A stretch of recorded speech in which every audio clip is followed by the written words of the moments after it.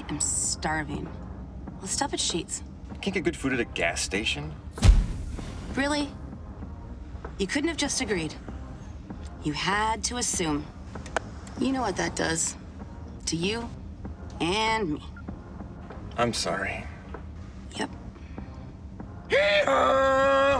Don't assume you can't get fresh made-to-order food at a gas station. Sheetz. Feel the love.